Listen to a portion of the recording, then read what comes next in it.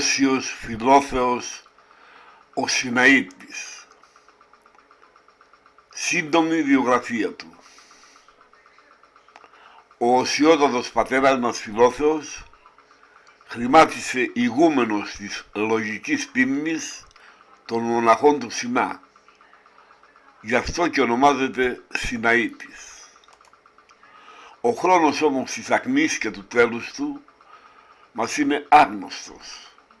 Ο παρόν λόγος χωρισμένος σε 40 κεφάλαια είναι άριστος καρπός της φιλοπονίας του και γεμάτος με απερίγραπτη πνευματική σοφία και ψυχική ωφέλεια. Έτσι δεν θεωρήθηκε με κανένα τρόπο δίκαιο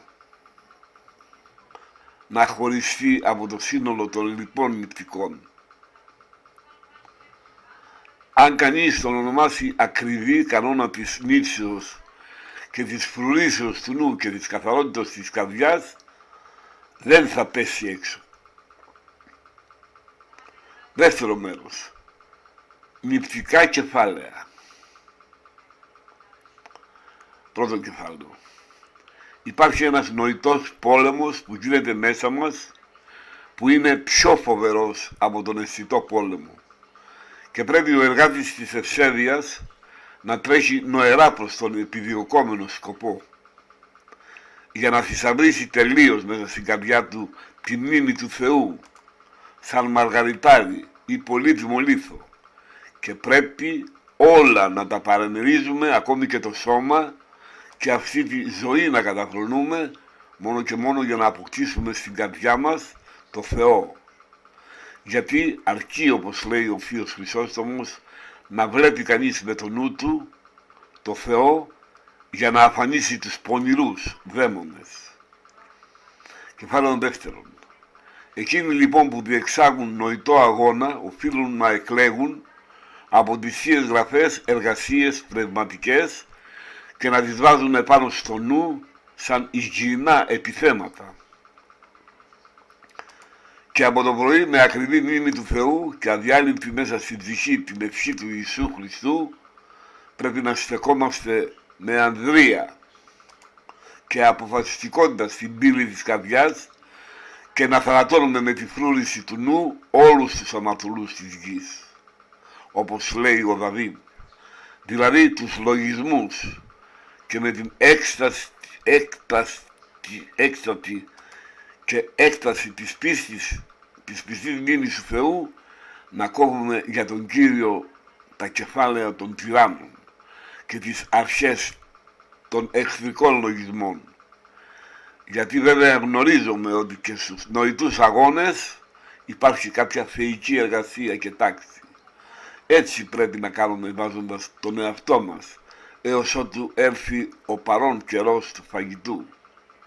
Κατόπιν αφού ευχαριστήσω τον Κύριο, ο οποίος από φιλανθρωπία και μόνο μας χορταίνει διπλά και με πνευματική και σωματική τροφή, να αφιερώνουμε το χρόνο μας στη μνήμη και μελέτη του θανάτου και την άλλη μέρα να συνεχίζουμε με δύναμη την πρωινή μας εργασία. Όταν τα κάνουμε αυτά κάθε ημέρα, μόλις που θα μπορέσουμε να ξεφύγουμε με τη βοήθεια του Κυρίου τα φύσια του νοητού εχθρού. Καθώς αυτά πολυκερίζουν μέσα μας, γεννούν τα τρία τούτα, τα τρία τούτα, πίστη, ελπίδα και αγάπη. Η πίστη μας προδιαθέτει να φοβόμαστε το Θεό αληθινά. Η ελπίδα, αφού υπερπηδήσει το βουλικό φόβο, ενώνει τον άνθρωπο με την αγάπη του Θεού αφού βέβαια η ελπίδα δεν κατεσχύνει, επειδή γεννά τη διπλή αγάπη από την οποία εξαρτώνται όλος ο νόμος και οι προφήτες. Η αγάπη τέλος δεν χάνει ποτέ την αξία της, αλλά αφού γίνει αιτία να εκπληρώνει στον παρόντα αιώνα τους θείους νόμους, εκείνος που την έχει τον συνοδεύει και στον μέλλοντα αιώνα. Κεφάλαιο τρίτο είναι πολύ σπάνιο να βρεις ανθρώπους που το λογιστικό τους δεν ενοχλείται από κακούς λογισμούς. Αυτό συμβαίνει μόνο σε εκείνους που με τον τρόπο αυτό μηχανεύονται να προσελκύουν τη Θεία Χάρη και επίσκεψη.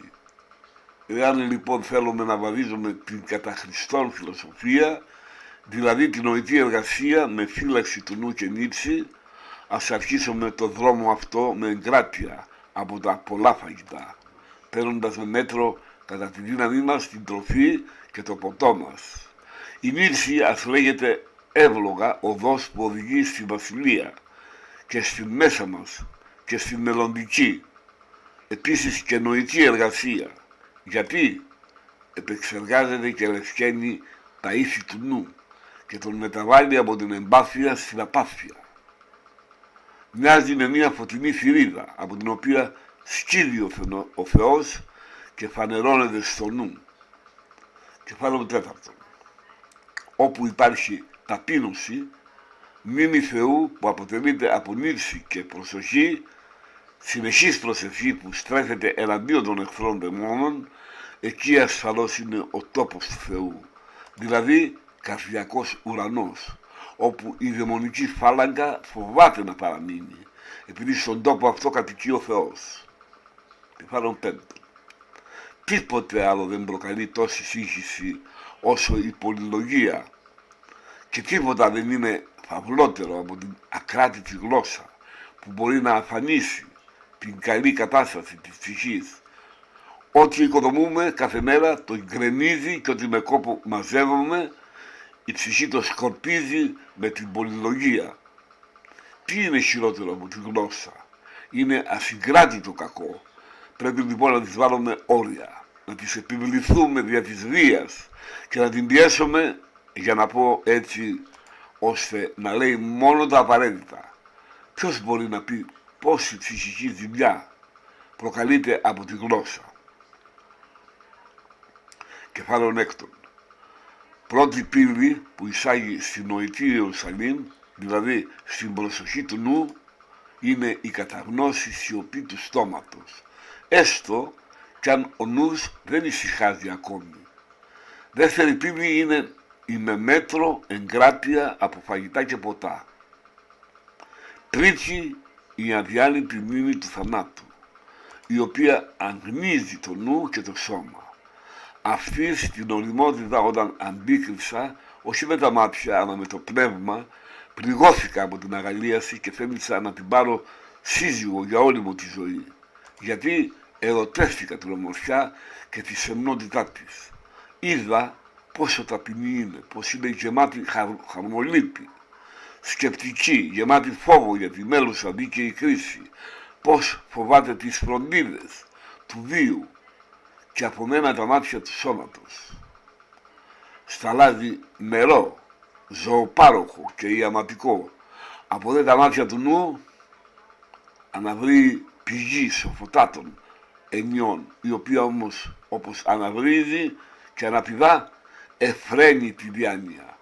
Αυτή λοιπόν όπως είπα την κόρη του Αδάμ, ενώ τη μνήμη του θανάτου διψούσα πάντοτε να την πάρω σύζυγό μου και με αυτή να κοιμούμε, με αυτή να μιλάω και να συζητώ τι μένει να γίνει μετά την απόδοση του σώματος.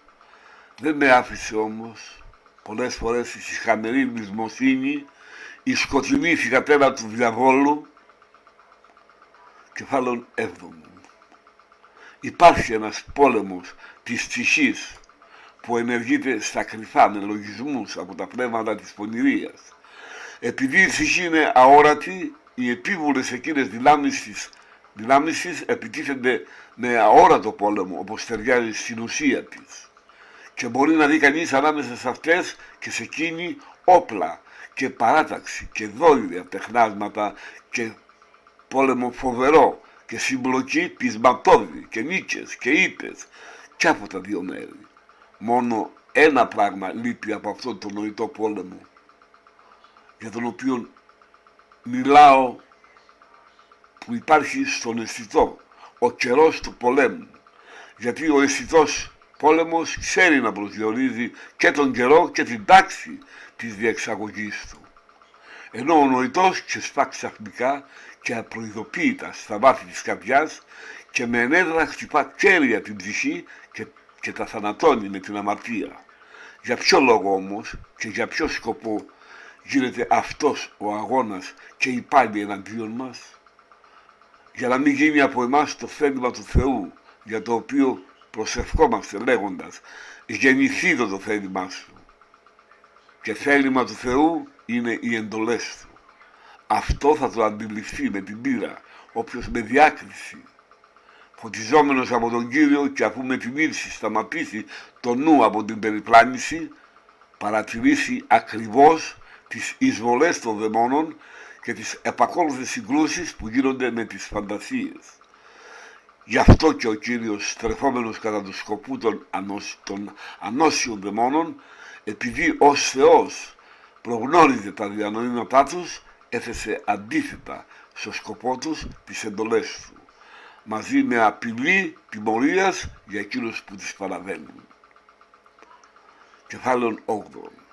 Όταν αποκτήσουμε κάποια έξι της εγκράτειας και της αποχής από τα αισθητά κακά που ενεργούνται με τις πέντε αισθήσεις, τότε από εκεί και πέρα θα μπορέσουμε να φυλάξουμε και την καρδιά μας με τη βοήθεια του Ιησού και να φωτιζόμαστε μέσα σε αυτήν από Αυτόν και με ένα πόθο θερμό να γεμόμαστε με το νου την αγαθότητά Του. Επειδή έχουμε λάβει νόμο να καθαρίζουμε την καρδιά μας όχι για άλλο τίποτε, αλλά αφού απομακρυνθούν τα σύννεφα της πονηρίας από το χώρο της καρδιάς και διασκορπιστούν με τη συνεχή προσοχή να μπορέσουμε να δούμε καθαρά σαν σε έθριο ουρανό τον ήλιο της δικαιοσύνης Ιησού και να δεχθούμε κάπως στο νου την έλαμψη των λόγων της μεγαλειότητάς Του.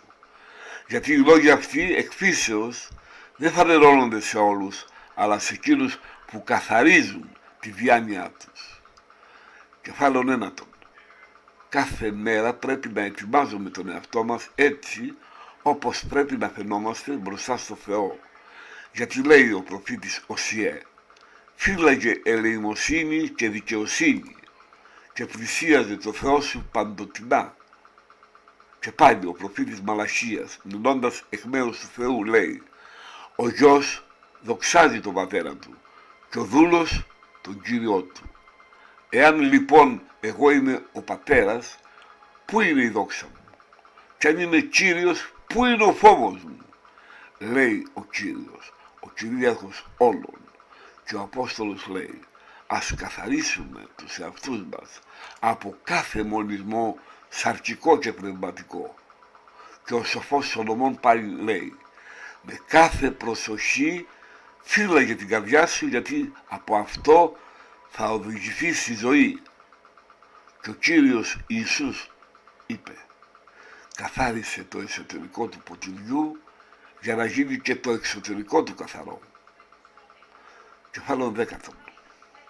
Οι άκερες συνομιλίες άλλοτε προξενούν μίσος από όσους μας ακούν, άλλοτε ηρωνίες και περιπέγματα για την ανοησία των λόγων μας. Άλλες επιφέρουν μολυσμό της συνειδήσεως, άλλες προξενούν την καταδίκη από το Θεό και τη λύπη του Αγίου Πνεύματος, που είναι και φοβερότερο από όλα τα άλλα. Κεφάλαιο εντέκατον. Εκείνος που καθαρίζει τη χάρη, την καρδιά του και ξεριζώνει με τη χάρη του Κυρίου την αμαρτία που κοπιάζει, κοπιάζει για να αποκτήσει φιότερη γνώση και βλέπει στο νου του εκείνα που είναι στους πολλούς αθέατα δεν πρέπει να υπερηφανεύεται γι' αυτό απέναντι κάποιου. Ανάμεσα στα χτιστά όντα κανένα δεν είναι καθαρότερο από, το ασώματο, από τον ασώματο, ούτε με περισσότερη γνώση από τον άγγελο. Επειδή όμως υπερηφανεύτηκε, κατακρινίστηκε σαν αστραπή από τον ουρανό. Έτσι η ψηλοφροσύνη του καταλογίστηκε ως ακαθαρσία από το Θεό. Είναι φανερή εκείνοι που εξο, εξορίσουν το χρυσό. Κεφάλαιο δέκατο. Λέγει ο Απόστολος, εκείνος που αγωνίζεται εγκρατεύεται σε όλα, γιατί δεν είναι δυνατόν οι συνδεδεμένοι με την άθλια αυτή σάρκα που πάντοτε επιθυμεί κατά του πνεύματος να αντιπαραταχθούν όταν είναι χορτασμένοι από πολλά φαγητά εναντίον των αρχών, των αφανών δυνάμεων που θέλουν το κακό μας. Η Βασιλεία του Θεού δεν είναι φαγητό και πιωτό. Και όπως λέει ο Απόστολος, το φρόνημα της σάρκας αποτελεί έχθρα προς το Θεό, γιατί αυτή δεν υποτάσσεται στον νόμο του Θεού, μα ούτε και μπορεί να υποταχθεί. Και είναι φανερό ότι γι' αυτό δεν μπορεί, γιατί το σώμα είναι γήινο, συγκροτημένο από χυμό και φλέγμα, κρίνει πάντοτε προς τα κάτω, στρέφεται πάντοτε με εμπάθεια στα γήινα και ευχαριστείται στις εφήμερες ειδονές αυτού του αιώνα. Το φρόνημα της άρκας είναι θάνατος και όσοι είναι παρα, παραδομένοι σε σαρκικό βίο δεν μπορούν να αρέσουν στο Θεό. Κεφάλαιο 13. Έχουμε ανάγκη από πολλή ταπείνωση εφόσον με τη χάρη του Κυρίου φροντίζομαι για τη φύλαξη του νου. Ταπείνωση πρώτα απέναντι στο Θεό και έπειτα απέναντι στους ανθρώπους. Με κάθε τρόπο και από παντού οφείλουμε να συντρίβουμε την καρδιά μας, μεταχειριζόμενοι κάθε τι που ταπεινώνει. Συντρίβει και ταπεινώνει την καρδιά η ανάμνηση της παλιάς μας ζωής στον κόσμο. Αν τη θυμόμαστε λεπτομερώς. Επίσης, η φήμηση όλων των αμαρτημάτων μας από την νηπιακή ηλικία που τα αναλογίζεται ο νους ένα-ένα, εκτός από τα σαρκικά, που η φήμησή τους είναι επιζήμια και ταπείνωση προξενεί και δάκρυα γεννά και μας παρακινεί σε ολοκάρδια ευχαριστία του Θεού όπως και η ακατάφαστη και ζωηρή μνήμη του θανάτου. Η ίδια γεννά και πένθος ακα, ανακατωμένο με κάποια γλυκύτητα και χαρά όπως επίσης και νύψη του νου ταπεινώνει πολύ το φρόνημα μας το να κρατούμε το βλέμμα μας προς τη γη και η μνήμη των παθών του Κυρίου μας Ιησού Χριστού όταν αναλογιζόμαστε και τα θυμόμαστε ένα-ένα. Τα πάθη αυτά φέρνουν επίσης και δάκρυα. Ακόμα ταπεινώνουν την ψυχή και οι πολλές ευεργεσίες του Θεού σε μας όταν τις μετρούμε μία-μία και τις ξαναφέρνουμε στο νου μας. Και όλα αυτά επειδή έχουμε να παλέψουμε εναντίον των υπερηφάνων δαιμόνων. Κεφάλαιο 14. Μην αρνείσαι από φιλαυτία, άνθρωπε, αυτά τα σωτήρια φάρμακα της ψυχής. Γιατί τότε ούτε του Χριστού μαθητής είσαι, ούτε του Παύλου νηνητής, ο οποίος έλεγε «Δεν είμαι ικανός να λέγομαι Απόστολος» και αλλού. Πρώτα ήμουν βλάστημος και διώκτης και υβριστής. Βλέπεις υπερήφανε τον Άγιο ότι δεν είχε λησμονήσει τον προηγούμενο βίο του. Και όλοι οι Άγιοι από την αρχή του κόσμου μέχρι τώρα δίνονταν αυτόν τον ευτελέστατο πριν αγιοχητώνα του Θεού την ταπείνωση. Και ο ίδιος ο Κύριος μας Ιησούς Χριστός όντας Θεός ακατάληπτος, άγνωστος και ανέκφραστος και θέλοντας να δείξει τον δρόμο της αιώνιας ζωής και της αγιότητος ντύθηκε την ταπείνωση σε όλη τους την επίγεια ζωή. Πράγματι λοιπόν, θεϊκή αρετή και δεσποτική εντολή και στολή δίκαια πρέπει να λέγεται η Αγία Ταπείνωση. Και οι άγγελοι και όλες εκείνες οι λαμπρές και θείες ουράνιες δυνάμεις αυτή την αρετή της ταπεινώσεως ασκούν και τηρούν γιατί ξέρουν τη φοβερή πτώση έπαθε ο σατανάς όταν υπερηφανεύτηκε και τώρα ο πονηρός βρίσκεται ρηγμένος στην Άβυσσο, αποτελώντας παράδειγμα σε αγγέλους και ανθρώπους, για να φοβούνται την πτώση και εξαιτίας της υπερηφανίας του αποδείχθηκε το πιο εξευτελισμένο από τα κτίσματα ενώπιον του Θεού. Επίσης γνωρίζομαι και σε ποια πτώση έπεσε ο Αδάμ από υπερηφάνεια. Έχοντας λοιπόν τόσα παραδείγματα της ψυχοσωτήριας αυτής αρετής ας τα πυλωνόμαστε και στην ψυχή και στο σώμα και στο φρόνημα και στο θέλημα και στα λόγια, στα διανοήματα και στην εμφάνιση και εξωτερικά και εσωτερικά. Αυτό πρέπει κυρίως να επιδιώκουμε για να μην στρέψουμε εναντίον μας τον Ιησού Χριστό, τον Υιό του Θεού και Θεό, ο οποίος είναι με το μέρος μας. Πάντα. Γιατί ο Κύριος αντιτάσσεται στους υπερηφάνους, στους υπερήφανους, ενώ δίνει τη χάρη του στους ταπεινούς. Για τον Κύριο είναι ακάθαρτος κάθε υπερηφανός και όποιος ταπεινώνει τον εαυτό του θα υψωθεί. Και ο Κύριος είπε μάθετε από εμένα ότι είμαι πράος και ταπεινός στην καρδιά. Γι' αυτό είναι ανάγκη να προσέχουμε. Κεφάλαιο 15. Προσέχετε λέει ο Κύριος. Μήπως οι καρδιές σας σκληρινθούν και εκείνος που αγωνίζεται εγκρατεύεται σε όλα. Αφού λοιπόν γνωρίζουμε όλα αυτά που μας λέει η Θεία Γραφή, ας περάσουμε τη ζωή μας με εγκράτεια, προπάντων από τα πολλά φαγητά και ας εφήσουμε το σώμα σε ενάρετη τάξη και συνήθεια, παρέχοντας του την τροφή με μέτρο, γιατί έτσι κατευνάζονται ευκολότερα τα σκεπτήματα του επιθυμητικού και υποτάσσονται στο ηγεμονικό λογικό, αν και πρέπει αληθινά. Και με βεβαιότητα να πούμε και τα σκεπτήματα του θυμοειδούς, να πούμε και τα σκεπτήματα του θυμοειδούς, αλλά και από τα λοιπά σφάλματα εύκολα απέχουμε. Επειδή για όσους έλαβαν πείρα της αρετής, αρετή θεωρείται και η γενική εγκράτεια, δηλαδή το να απέχουμε από κάθε είδους κακό. Αιτία της αγνίας είναι πρώτα απ' όλα ο Θεός, ο δωρεοδότης και αίτιος όλων των καλών και έπειτα η καθημερινά ίδια μετρημένη εγκράτεια από τις πολλές στροφές. Κεφάλαιο 16.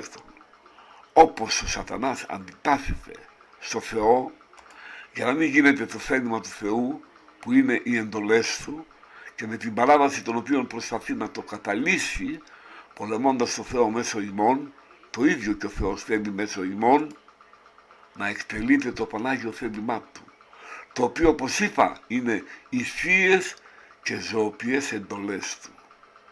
Εξουδο, εξουδετερώνοντας με, με μας και με τη βοήθειά του τον ολέθριο σκοπό του πονηρού.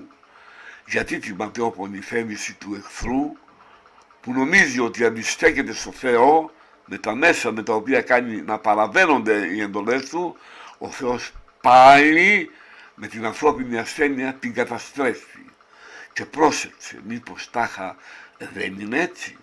Όλες οι εντολές του Ιερού Ευαγγελίου φαίνονται ότι με όσα προστάζουν νομοθετούν και θεραπεύουν τα τρία μέρη της ψυχής. Ή μάλλον δεν φαίνονται μόνο αλλά και πράγματι του δίνουν υγεία. Αυτά λοιπόν τα τρία μέρη της ψυχής. Ο διάβολος φαίνεται ότι τα πολεμά νύχτα και ημέρα. Και αφού πολεμά ο σατανάς τα τρία μέρη της ψυχής άρα πολεμά τις εντολές του Χριστού. Γιατί ο Χριστός νομοθετεί με τις εντολές τα τρία μέρη της ψυχής που είναι το θυμικό, το επιθυμητικό και το λογιστικό. Πρόσεξε το ρητό. Καθένας που οργίζεται με τον αδελφό του χωρίς λόγο είναι ένοχος για το δικαστήριο και τα επόμενα παραγγέλματά του αυτά είναι θεραπείες του θυμού. Ο εχθρός πάλι προσπαθεί να καταστρέψει την εντολή αυτή και τις άλλες ομοιές της με λογισμούς φιλονικιών, νησικακίας και φθόνου. Γιατί γνωρίζει ο αντίπαλός μας ότι η ηγεμόνας του φημικού είναι το λογιστικό. Το ξέρει λοιπόν το λογιστικό με λογισμούς, όπως είπα, υποψίας, φθόνου, φιλονικίας, λογομαχίας, δόλου, καινοδοξίας και το πείθει να αφήσει την εξουσία του και να χαλαρώσει τα ενία στο θυμό και να τον αφήσει ακυβέρνητο. Ο δε θυμός έχοντας χάσει τον κυβερνήτη βγάζει από το στόμα με τα λόγια εκείνα που είχε από πριν στην καρδιά τα οποία συσσωρεύτηκαν εκεί με τους λογισμούς που προκάλεσε ο οχθρός και με την ανέλεια του νου. Και τότε βλέπει κανείς την καρδιά αντί να είναι γεμάτη από θείο πνεύμα και θεία νοήματα να είναι γεμάτη κακία καθώς είπε ο Κύριος. Από το περιεχόμενο της καρδιάς μιλάει το στόμα. Γιατί αν μπορέσει ο πονηρός να βγάλει έξω με τα λόγια εκείνα που μελετήθηκαν εσωτερικά, τότε δεν θα αποκαλέσει μονάχα βλάκα ή ανόητο τον αδελφό του, εκείνος που κυριεύθηκε από το θυμό, αλλά από τα υβριστικά λόγια θα καταλήξει συχνά και σε φόνο. Αυτά τα χρησιμοποιεί ο πονηρός εναντίον του Θεού που έδωσε εντολή να μην οργιζόμαστε χωρίς λόγο. Αυτά μπορούσαν να μην φτάσουν να γίνουν υβριστικά λόγια και όσα επακολουθούν αν με την προσβολή του λογισμού διώχνονταν αμέσως από την καρδιά με προσευχή και εσωτερική προσευχή έτσι ο κακούργος διάβολος έτσι ο κακούργος διάβολος πετυχαίνει το, το σκοπό του. Όταν δει ότι εκείνα που έβαλε μέσα στην καρδιά με λογισμούς καταλύουν κάποια θεία εντολή. Κεφάλαιο 17. Τι έχει παραγγείλει στο επιθυμητικό η θεία δεσποτική εντολή; Εκείνος που κοιτάζει γυναίκα με επιθυμία ήδη διέπραξε νησία με αυτήν μέσα στην καρδιά του. Όταν είδε ο κακούργος διάβολος ότι δόθηκε αυτή η εντολή έτρεξε κατά κάποιο τρόπο ένα δίχτυ μέσα στο νου κατά της εντολής. Γιατί μετέφερε τον πόλεμο από την ύλη που ερεθίζει και τον εγκατέστησε μέσα στον άνθρωπο. Και μπορεί να δει κανείς να ζωγραφίζονται μέσα στο νου από τον εχθρό σχήματα και εικόνες πορνικές και μπορεί να ακούει λόγια που ερεθίζουν το πάθος και άλλα που γνωρίζουν όσοι έχουν πείρα του νοερού πολέμου. Κεφάλαιο 18. Ποια είναι τώρα η εντολή που προτρέπει το λογιστικό μας; Εγώ σας λέω να μην ορκιστείτε καθόλου. Ο λόγος σας ας είναι ναι ή όχι.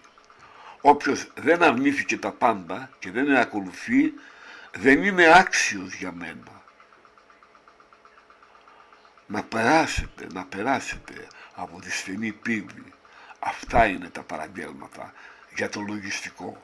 Ο αντίπαλος διάβολος λοιπόν για να υποτάξει έναν άριστο στρατηγό που είναι το λογιστικό το βγάζει από τα λογικά του με λογισμούς γαστριμαργίας και αδιαφορίας και αφού σαν μέθησο στρατηγό το χλεβάσει και το απομακρύνει από την ηγεμονία χρησιμοποιεί το πονηρό φίδι σαν υπηρέτες των άνομων θελημάτων, θελημάτων του, το θυμό και την επιθυμία.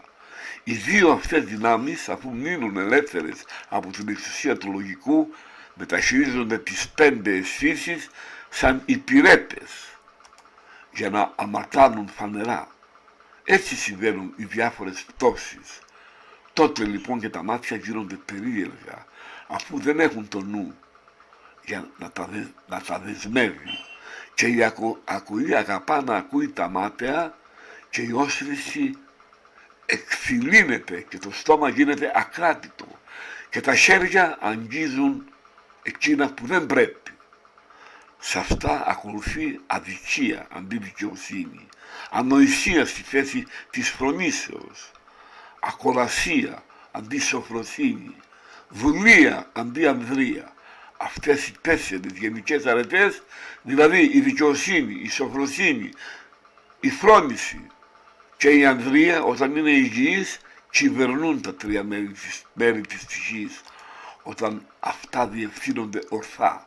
Εμποδίζουν τις αισθήσεις από, την, από τα άτοπα και τότε ο νους έχει γαλήνει και καθώς οι δυνάμεις του κυβερνούνται ενθέως και υπακούουν ανδραγαθεί εύκολα στο νοητό πόλεμο. Ενώ όμως σκοτίζει τις δυνάμεις του από απροσεξία και νικέται από τις επιθέσεις του εχθρού, τότε παραβαίνει τις θείες εντολές. Την παράβαση όμως οπωσδήποτε ακολουθεί η μετάνοια ανάλογη. Ακολουθεί ή μετάνοια ανάλογη ή κόλαση στο μέλλον. Καλό λοιπόν είναι να έχει πάντοτε μύψη ο νους, με την οποία αφού σταθεί στην καταφύση κατάσταση γίνεται αληθινός τηρητής των θείων εντολών. Κεφάλαιο 19. η ψυχή έχει περιπυχιστεί και περιφραχτεί και δεθεί με τις αλυσίδες του σκότους από τα πνεύματα της πονηριάς και δεν μπορεί λόγω του σκότους που είναι τριγύρω να προσευχηθεί όπως θέλει γιατί είναι δεμένη στα κρυφά και τυφλή στα εσωτερικά της μάπια. Όπως λοιπόν αρχίζει να αρχίσει να προσεύχεται στο Θεό και με την προσευχή να έχει νύψει, τότε θα ελευθερωθεί από εκείνο το σκοτάδι με την προσευχή. Διαφορετικά είναι αδύνατο να ελευθερωθεί. Τότε θα μπορέσει η ψυχή να έρθει σε επίγνωση ότι μέσα στην καρδιά γίνεται άλλη πάλι και εναντίωση, κρυφή και άλλος πόλεμος, λογισμός από τα πονηρά πνεύματα όπως μαρτυρούν και οι Άγιες Γραφές. Γιατί λένε, αν το πνεύμα του εξουσιαστεί ανεβεί σε σένα, μην αφήσεις τον τόπο σου. Και τόπος του νου είναι η, ακλόνη, η ακλόνητη στάση του, στην αρετή και, και η νύψη. Γιατί υπάρχει στάση και στην αρετή και στην κακία, όπως λέει ο ψαλμοδός. Μακάριος ο άνθρωπος που δεν πορεύτηκε σε βουλία σεβών και δεν στάθηκε σε δρόμο αμαρτωλών. Και ο Απόστολος σταθείτε λοιπόν έχοντας ζωσμένη τη μέση σας με την αλήθεια. Όσιος φιλόθεος ο Σιναήτης. Νηπτικά κεφάλαια. Κεφάλαιο 20. Ας κατέχουμε τον Χριστό με πολύ θέληση λόγω των δαιμόνων που αγωνίζονται αενάως να τον αρπάξουν από την ψυχή μας για να μην φύγει ο Ιησούς εξαιτίας του πολλού όχλου των λογισμών στον τόπο της ψυχής. Είναι όμως αδύνατο να τον κατέχουμε έτσι, χωρίς πόνο ψυχής. Κι ας ερευνούμε την επίγεια ζωή του για να περνούμε ταπεινά τη δική μας. Και ας θυμόμαστε συνεχώς τα πάθη του για να υπομένουμε τις θλίψεις μιμούμενοι αυτόν με ζήλο και ας γευόμαστε την άρρητη και συγκαταβατική για χάρη μας οικονομία του για να νιώθουμε από τη γλυκιά γεύση της ψυχής ότι ο Κύριος είναι αγαθός. Μαζί με όλα αυτά ή μάλλον πριν από όλα ας πιστεύουμε αδίστακτα σε Αυτόν, σε όσα λέει και ας περιμένουμε την πρόνοιά Του κάθε μέρα να έρθει σε εμάς. Και όταν συμβεί να έρθει ας τη δεχθούμε με ευχαρίστηση και χαρά και προθυμία για να μάθουμε να αποβλέπουμε μόνος στο Θεός ο οποίος κυβερνά τα πάντα σύμφωνα με τους θεϊκούς λόγους της σοφίας. Και όταν κάνουμε όλα αυτά, τότε δεν είμαστε μακριά από τον Θεό. Αφού ευσέβεια είναι τελειότητα που δεν έχει τέλος, όπως είπε ένας από τους θεοφόρους, και τέλειος κατά το πνεύμα. Κεφάλαιο 21.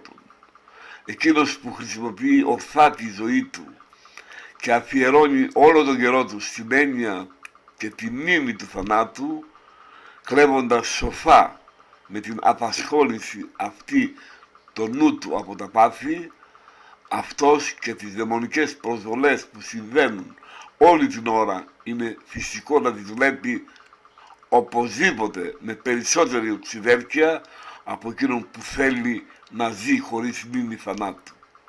Όποιος καθαρίζει την καρδιά του μόνο για τη γνώση και δεν προσπαθεί καθόλου να τη φυλάγει με επένθυμη μελέτη, ενώ καμιά φορά νομίζει ότι εξουσιάζει όλα τα ολέθρια πάθη με τις ικανότητές του, δένεται από ένα, χωρίς να καταλάβει το χειρότερο από όλα και πέφτει κάποτε γιατί δεν έχει το Θεό μαζί του στην υπερηφάνεια.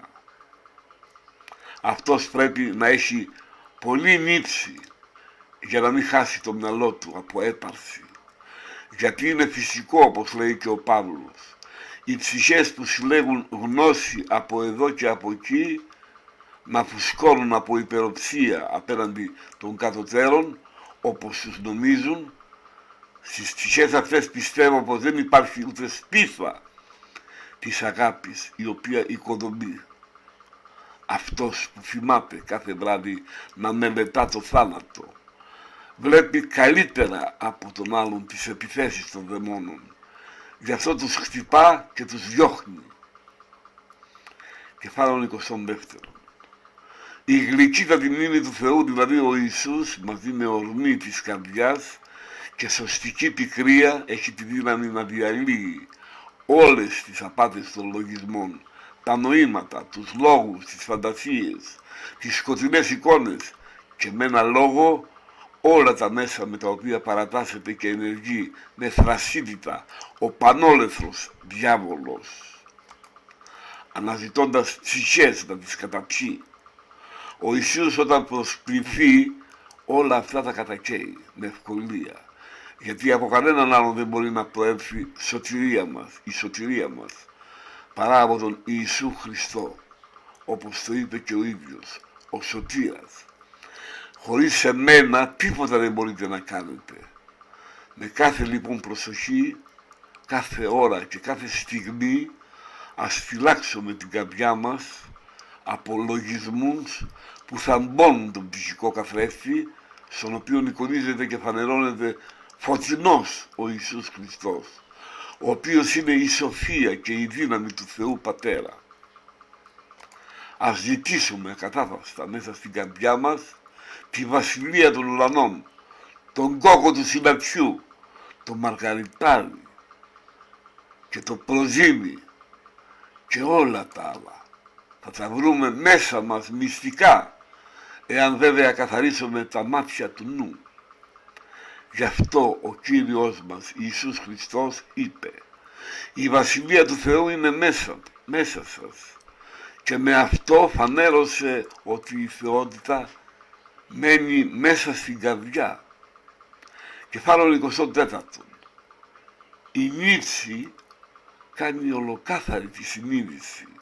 Όταν αυτή καθαριστεί λάμπει ευθύς, σαν ένα μεγάλο φως που ως τότε καλυπτόταν και διώχνει μεγάλος σκότος. Αφού διωχθεί το σκοτάδι, η συνείδηση με συνεχή γνήσια νύψη δείχνει εκείνα που μας διαφεύγουν και με την νύψη του νου διδάσκει τα σχετικά με τον αόρατο πόλεμο και τη λογική μάχη και πώς πρέπει ο νους να ρίχνει λόγχες στη μονομαχία και να χτυπάμε λογισμούς σαν με εύστοχα ακόντια, αλλά να μην χτυπιέται ο ίδιος από ακόντια, καθώς θα κρύβεται κοντά στο Χριστό, επιθυμώντας φως αντί βλαβερός σκοτάδι. Αυτό, αυτός που γεύτηκε αυτό το φως κατάλαβε τι λέω. Η γεύση αυτού του φωτός κάνει την ψυχή να πεθαίνει μάλλον από την πείνα και να μην χορταίνει ποτέ, αλλά όσο τρώει τόσο πεινά. Αυτό το φως έρκει το νου, όπως ο ίδιος στα μάτια. Είναι ανερμήνευτο, όχι με λόγια, αλλά με την πείρα εκείνου που το έπαθε ή πιο αληθινά, που πληγώθηκε από αγάπη γι' αυτό.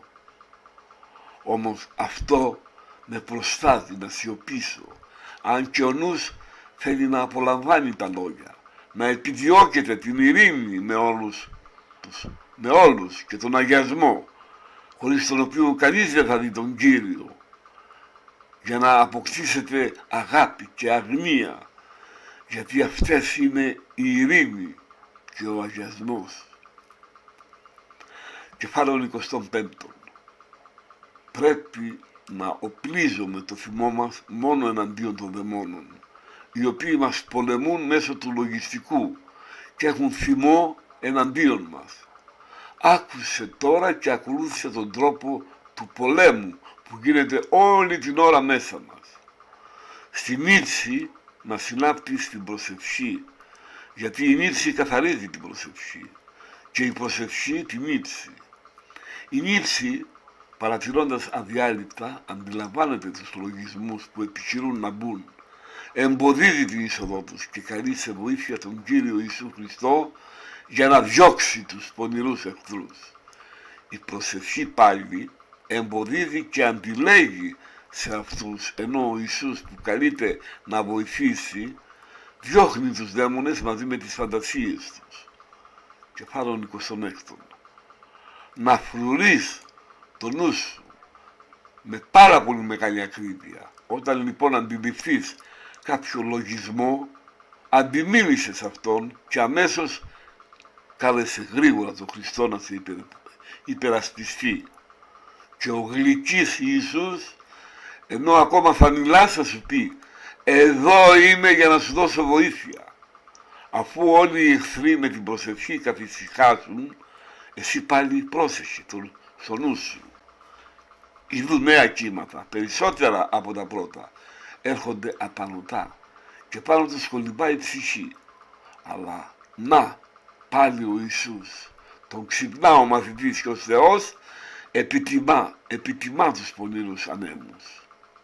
Όταν βρεις άνεση από τον πόλεμο κάποια ώρα ή στιγμή δόξα σε εκείνον που σε έσωσε και έχει τη μνήμη του θανάτου.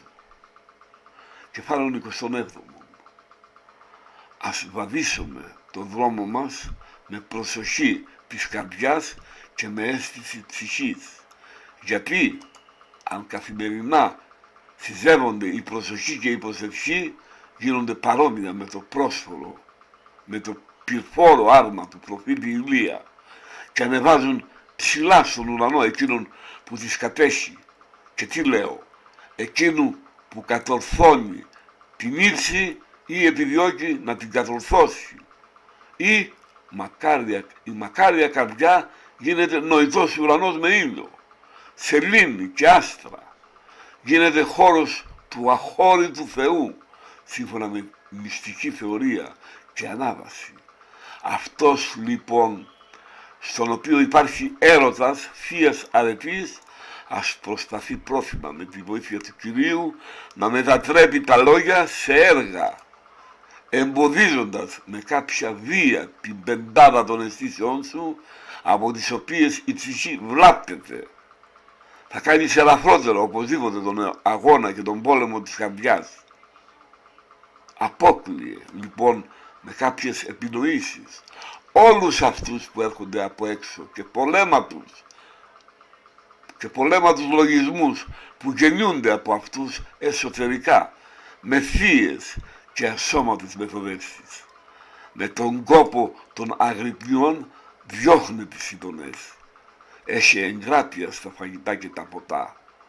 Λέπτυνε το σώμα σου αρκετά για να κάνεις εύκολο και ελαφρό για σένα τον πόλεμο γύρω από την καρδιά. Έτσι τον εαυτό σου ευεργετείς όχι άλλον και να πειθαρχείς την ψυχή σου με τη μελέτη του θανάτου. Μάζεψε το διασκορπισμένο σου νου με τη μνήμη του Ιησού Χριστού. Ο νους ξαστερώνει καλύτερα συνήθως τις νύχτες με τις λαμπρές θεωρίες του Θεού και των Θείων. Κεφάλαιο 28 ας μην απορρίπτουμε τους σκόπους των σωματικών ασκήσεων, όπως από τη γη φυτρώνει σιτάρι, έτσι και από αυτούς η πνευματική χαρά και η εμπειρία των καλών. Μην να ξεγελάμε την συνείδηση όταν μας υποδεικνύει τα σωτήρια που πρέπει να κάνουμε και όταν μας λέει αδιάκοπα τι πρέπει και τι χρωστούμε και μάλιστα όταν συμβεί να καθαρίζεται με ενεργό και έμπρακτη και λεπτή νύψη του νου. Γιατί τότε συνηθίζει να λέει τις διορατικές κρίσεις, τις κατάλληλες και αναμφισβήτητες λόγω της καθαρότητός της. Γι' αυτό μη θέλουμε να την ξεγελάσουμε σχετικά με αυτά, γιατί αναγγέλνει μέσα μας το βίο που αρέσει στο Θεό. Με την απόδομα πάλι έλεγχο που κάνει στην ψυχή της οποίας η κρίση καμιά φορά ανιώνεται από τις αμαρτίες την οδηγεί να επανορθώσει το σφάλμα της και συμβουλεύει την καρδιά που έφτεξε να μετανοεί υποδεικνύοντας τη θεραπεία με ευχάριστη υπαγόρευση. Κεφάλαιο 21. Ο καπνός που βγαίνει από τα ξύλα πειράζει τα μάτια, αλλά έπειτα δείχνει σε αυτά φως και ευχαριστεί εκείνος που ενοχλούσε πρωτήτερα. Και η ακατάβαση προσοχή προκαλεί κόποση.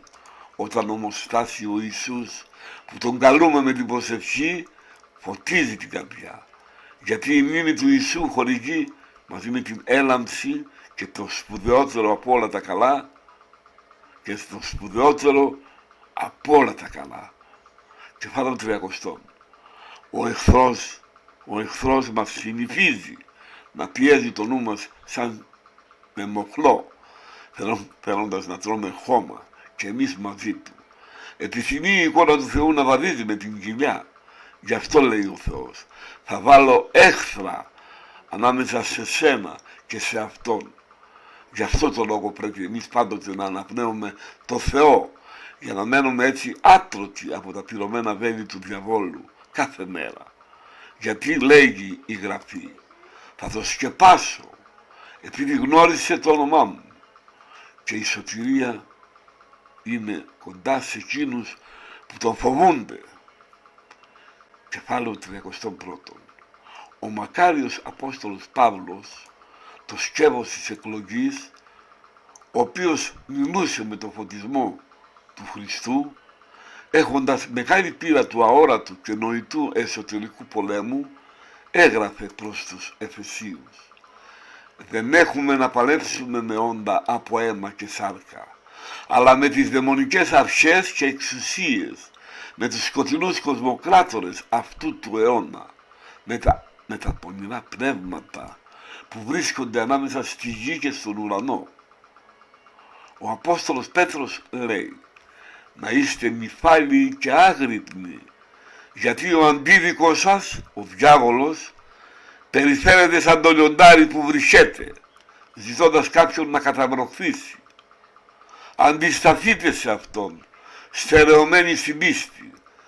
Και ο Κύριος μας Ιησούς Χριστός, κάνοντας λόγο για τις διάφορες προαιρέσεις εκείνων που ακούνε τα λόγια του Ευαγγελίου, λέει έπειτα έρχεται ο διάβολος και παίρνει το λόγο από την καρδιά, τον κλέβει δηλαδή από την κακή λυσμοσύνη για να μην πιστέψουν και σωθούν.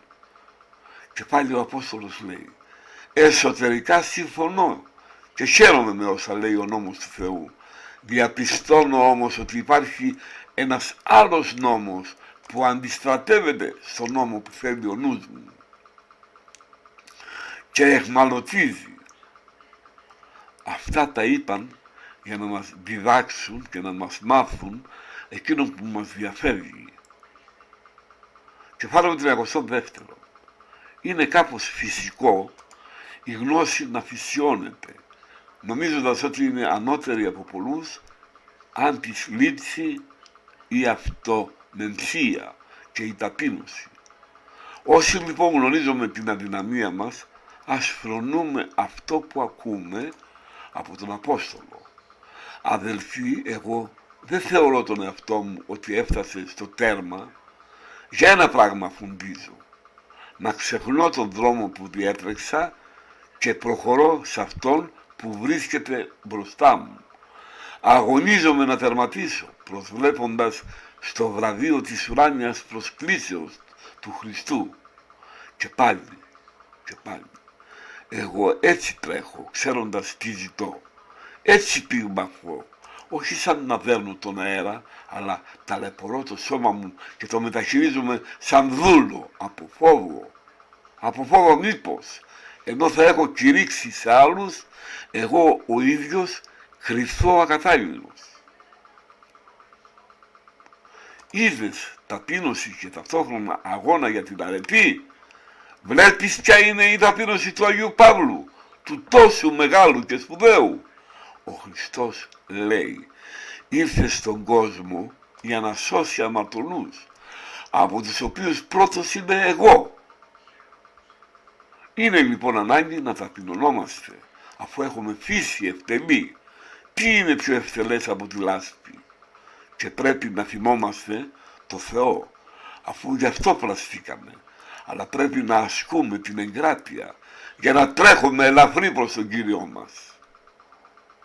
Κεφάλαιο 33 είναι αδύνατον εκείνος που παρέδωσε τον εαυτό του στους πονηρούς λογισμούς να είναι καθαρός εξωτερικά από αμαρτίες. Και δεν είναι δυνατόν αν δεν ξεριζώνονται από την καρδιά οι πονηροί λογισμοί να μην προχωρούν σε πονηρά έργα. Το να βλέπει κανείς την διάθεση νησίας οφείλεται στο ότι τα εσωτερικά μάτια μίσχευσαν και σκοτίστηκαν και το να θέλει να ακούει εσχρότητες έχει ως αιτία το ότι τα ψυχικά πια ακούνε τους μέσα μας εσχρούς δαίμονες, ό,τι μας ψιθυρίζουν. Οφείλουμε λοιπόν με τη βοήθεια του Κυρίου να καθαρίζουμε τους εαυτούς μας μέσα και έξω. Να προσέχει ο καθένας μας τις αισθήσεις του και να τις καθαρίζει κάθε ημέρα από εμπαθείς και εφάμαρτες ενέργειες. Και όπως πρώτα μέσα στην άγνοιά μας, όταν είμαστε στον κόσμο ακολουθώντας τους μάταιους διαλογισμούς μας, με όλο το νου μας και τις αισθήσεις μας, δουλέψαμε στην απάτη της αμαρτίας, έτσι πάλι πρέπει αφού ήρθαμε στον κατά Θεόν βίο, με όλο το νου και τις αισθήσεις μας, να δουλεύουμε στο ζωντανό και αληθινό Θεό, στην δικαιοσύνη και στο θέλημα του Θεού. Κεφάλαιο 34. Πρώτα είναι η προσβολή του πονηρού λογισμού. Έπειτα ο συνδυασμός, έπειτα η συγκατάθεση, έπειτα η εχμαλωσία, κατόπιν το πάθος που γίνεται μόνιμο με τη συνήθεια και τη συνέχεια. Αυτή είναι η ήττα μας στην εναντίον μας πάλι. Έτσι εξάλλου διδάσκεται και από τους Αγίους Πατέρες. Κεφαλαίο 35. Και προσβολή είναι όπως λένε απλός λογισμός ή η εικόνα κάποιου καινούργιου τυχόν πράγματος που γεννήθηκε στην καρδιά μας και εμφανίζεται στο νου. Συνδυασμός είναι το να συνομιλήσει κανείς με αυτό που φάνηκε με πάθος ή χωρίς πάθος. Συγκατάθεση είναι η ενίδωνη συγκατάμεση της ψυχής προς αυτό. Εχμαλωσία είναι η βίαιη και αφέλητη απαγωγή της καρδιάς ή η επίμονη συναναστροφή με αυτό που τυχόν φάνηκε πράγμα που αφανίζει την άριστη κατάστασή μας. Πάθος κυρίως λένε εκείνο που φωνιάζει πολύ καιρό μέσα στην ψυχή εμπαθός. Από όλα αυτά το πρώτο είναι αναμάρτητο. Το δεύτερο όχι πάντα. Το τρίτο ανάλογα με την κατάσταση του αγωνιζομένου. Ή πάλι τέλος προξενεί ή τα στεφάνια ή τις τιμωρίες. Κεφάλαιο 36. Η εχμαλωσία διαφορετικά κρίνεται αν γίνει την ώρα της προσευχής ή, ή άλλη ώρα. Το πάθος χωρίς αμφιβολία είναι υπόχρεο ή σε ανάλογη μετάνοια ή στη μέλουσα κόλαση. Εκείνος λοιπόν που αντιστέκεται ή αντιμετωπίζει με απάθεια το πρώτο, δηλαδή την προσβολή, με το ένα έκοψε όλα τα εσχρά, αυτή είναι η μάχη των πονηρών δαιμόνων προς τους ανθρώπους. Μοναχούς και μη και η ήττα και η νίκη, όπως είπαμε. Και ανάλογα με τη νίκη θα δοθούν τα στεφάνια και οι ποινές για εκείνους που έφτεξαν και δεν μετανόησαν. Ας αγωνιστούμε λοιπόν νοητά εναντίον τους για να μην κάνουμε εφάρματα, αισθητά, έργα, τα πονηρά διανοήματα των δαιμόνων και κόβοντας την αμαρτία από την καρδιά μας θα βρούμε τη βασιλεία των ουρανών μέσα μας και θα φυλάξουμε διαρκή την καθαρότητα της καρδιάς και την κατάνοιξη εναντίον του Θεού με την άριστη αυτή εργασία. Κεφάλαιο 37. Πολλοί μοναχοί δεν γνωρίζουν την περιπλάνηση του νου που προκαλείται από τους δαίμονες. Ασχολούνται με την πρακτική και δεν φροντίζουν για το νου επειδή είναι απλοί και αμάθητοι.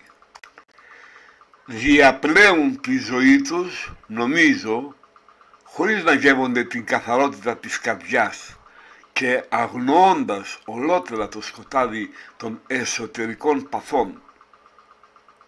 Όσοι λοιπόν δεν γνωρίζουν αυτή την πάλη που λέει ο Παύλος, ούτε έχουν ίσως σταθεροποιηθεί με την πείρα στο καλό, θεωρούν ως τόσες μόνο τις έμπρακτες αμαρτίες, χωρίς να λογαριάζουν τις νίκες και ήτες των λογισμών, τις οποίες εξάλλου ούτε τα μάτια μπορούν να δουν, γιατί είναι απόλυτες και μόνο ο αγωνοθέτης, Θεός και η συνείδησή του, του αγωνιζομένου, της γνωρίζει. Για αυτούς νομίζω ότι έχει λεχθεί το γραφικό εκείνο και είπαν ειρήνη, μα δεν ήταν ειρήνη. Όταν έτσι συμβαίνει στους αδελφούς από την απλότητά τους, πρέπει να προσεύχεται κανείς για αυτούς και να τους διδάσκει όσο μπορούν να απέχουν από τις κακές πράξεις. Για εκείνους όμως που έχουν θεϊκή επιθυμία να καθαρίζουν την όραση της ψυχής υπάρχει και άλλη πράξη του Χριστού και άλλο μυστήριο. Η ζωηρή μνήμη του θανάτου περιέχει πραγματικά πολλές αρετές. Γεννά το πένθος, το προτρέπει σε εγκράτεια απ' όλα. Υπενθυμίζει τη γέννα, είναι μητέρα της προσευχής και των δακρύων. Φρουρεί την καρδιά, πάβει την εμπαθή προσκόλληση στη σάρκα, αφού είναι από πυλό. Αναβλύζει την οξύτητα του νου μαζί με διάκριση. Παιδιά, αυτόν είναι ο διπλός φόβος του Θεού και η κάθαρση της καρδιάς από εμπαθείς λογισμούς. Περιέχει πολλές δεσποτικές εντολές. Σε αυτήν παρατηρείται ο πάρα πολύ δύσκολος αγώνας κάθε στιγμής για τον οποίο φροντίζουν οι περισσότεροι αθλητές του Χριστού. Κεφάλαιο 31. Ένα απροσδόκητο συμβάν ή μία συμφορά βλάπτει όχι λίγο την προσοχή της διάνοιας, βγάζοντας το νου από την τάση του προς τα καλύτερα και την ενάρετη και καλή κατάστασή του, τον εκτρέπει σε εφάμαρτες κοινωνικίες και λογομαχίες. Αιτία αυτής της καταστροφής μας είναι οπωσδήποτε ότι βρισκόμαστε απροετοίμαστοι από τις φλήψεις που παραχωρούνται από το Θεό. Κεφάλαιο 40. Ούτε θα μας βλάψει, ούτε θα μας λυπήσει. Κανένα από τα καθημερινά λυπηρά που μας συμβαίνουν όταν μια φορά καταλάβουμε και κάνουμε παντοτινή μελέτη μας ότι αυτά είναι απαραίτητα. Γι' αυτό λέει ο Θείος Απόστολος Παύλος. Χαίρομαι με τις ασθένειες, τις ύβρις, τις δυσχέρειες και όλοι όσοι θέλουν να ζουν με ευσέβεια στο όνομα του Ιησού Χριστού θα αντιμετωπίσουν διωγμούς. Σε Αυτόν ανήκει η δόξα στους αιώνες των αιώνων. Αμήν. Τέλος και το Θεό δόξα. Κύριε Ιησού Χριστέ Ιε του Θεού, ελέησον με τον αμαρτωλό. Κύριε Ιησού Χριστέ Ιε του Θεού, ελέησον με τον αμαρτωλό. Κύριε Ιησού Χριστέ, Ιε του Θεού, ελέησον με τον αμαρτωλό. Υπεραγία Θεοτό και σώσον ημάς. Υπεραγία Θεοτό και σώσον ημάς. Υπεραγία Θεοτό και σώσον ημάς. Αμήν. Thank you.